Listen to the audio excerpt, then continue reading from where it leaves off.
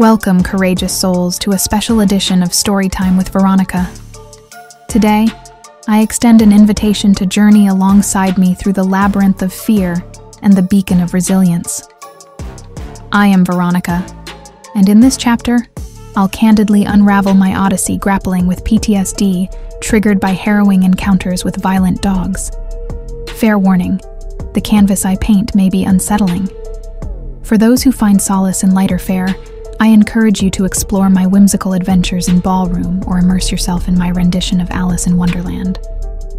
But for those who remain, let us embark together into the heart of storytelling, where even the shadows hold fragments of our shared illumination.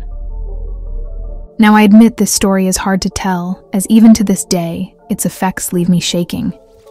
Honestly, this could possibly be part of the reason I have such horrible anxiety as an adult.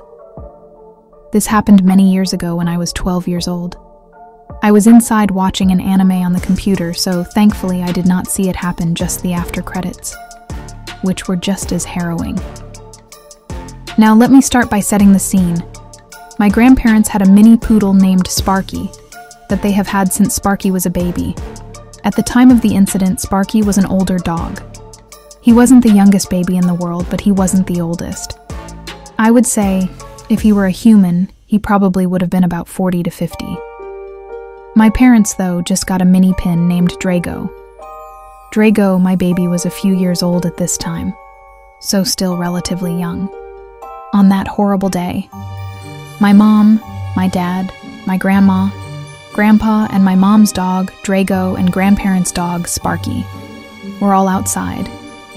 Drago was out back closer to where I was sitting, and Sparky was out front, where my grandparents and parents were sitting. I was watching my anime Dead to the World as most young preteens tends to be. When I heard my mom's frantic call for me to bring Drago inside now, I was confused, but didn't think much of it at the time. It was only after I brought Drago inside that I learned the truth. About five to ten minutes after Drago was back in the safety of the home, Grandpa came inside carrying Sparky barely breathing and covered in blood. I was horrified. Sparky looked dead. There was so much blood. I learned later that our neighbor's dog got out and attacked Sparky and bit my grandma when she tried to separate them. Grandpa rushed Sparky to the vet, but unfortunately, there was nothing they could do. Sparky was dying a slow death, so the kindest thing my grandpa could do at that point was to put Sparky down so he wouldn't have to suffer an agonizing death. I don't know what happened to our neighbor's dog. The contract on the house we were renting ended shortly after. Nor did I really care what happened to our neighbor's dog. Honestly, I was too busy dealing with the trauma of Sparky's death. I may not have seen it happen, but the sight of Sparky covered in blood like that haunts me even to this day. Honestly, as it is, I can no longer tolerate the sound of dogs fighting, even if they are play fighting, it sends me into a panic. When walking Drago after that, any time we would walk past another dog, I would pick Drago up and carry him. Dog parks were a living hell for me as my heart would literally freeze at the sight of another dog, so much as looking Drago's way. Honestly, Drago became an unofficial emotional support puppy for me, with how close we became. After what happened to Sparky, I made Drago a promise that I would always protect him. I like to believe that he understood me too because when my mom took him to a dog park years later, he would run to me and hide behind my legs, or crawl into my arms when he was scared of the other dogs. I became his shield and him the glue to my shattered heart. Grandpa did eventually get another dog Sierra, another poodle. He actually wasn't planning on adopting another baby, but when he saw her, he said he knew she belonged with him. Poor baby was terrified of the sound of a water bottle crinkling. Don't know why, I have my guesses though. She wasn't a puppy when he got her, she was older, but they just clicked upon meeting. I have to admit, though, I was weary of her around Drago for a while, terrified of a Sparky incident. Yes, I realize it was a neighbor's dog that killed Sparky, but I tell that to my irrational fear.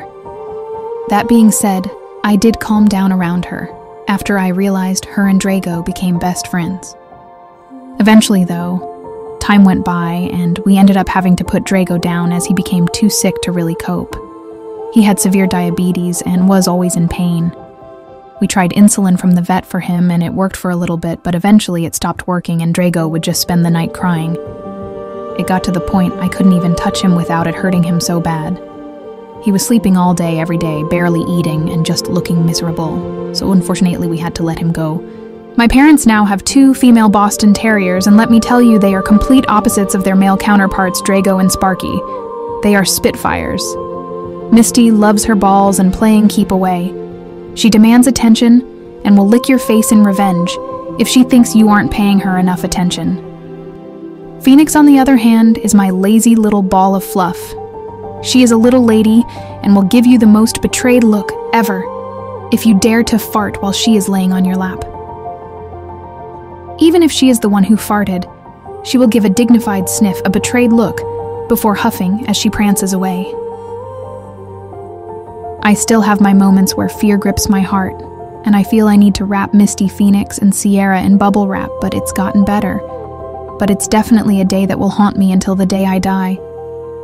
Thankfully, though, I am never truly alone. With the Lord by my side, each day seems brighter and brighter. Until next time on Storytime with Veronica.